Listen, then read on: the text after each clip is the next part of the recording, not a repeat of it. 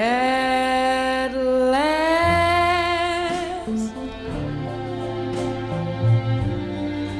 my love has come along.